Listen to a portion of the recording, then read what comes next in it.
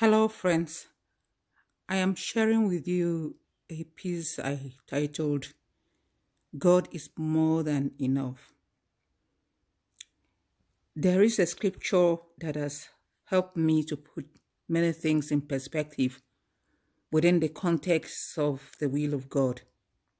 It is Revelation chapter 4, verse 11. It says, Thou art worthy, O Lord, to receive glory and honor and power, for thou hast created all things, and for thy pleasure they are and were created. Since I was created to give God pleasure, I should seek his will always. Jesus Christ knew why he was sent to the earth and did not deviate from the path charted for him by the Father. Hebrews chapter 10, verses 5 to 7 states Sacrifices and offerings you did not desire, but a body you have prepared for me. In burnt offerings and sacrifices for sin you have had no pleasure.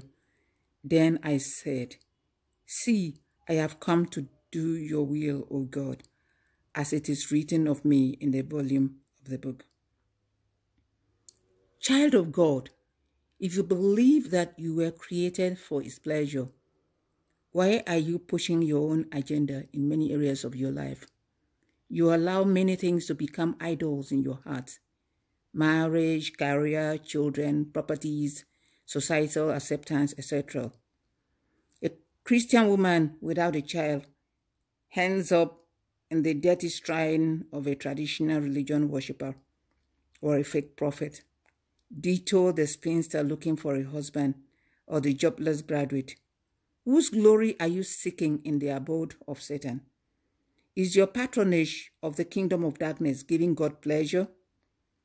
I believe that the best thing to do under such circumstances is to lift up a prayer to God.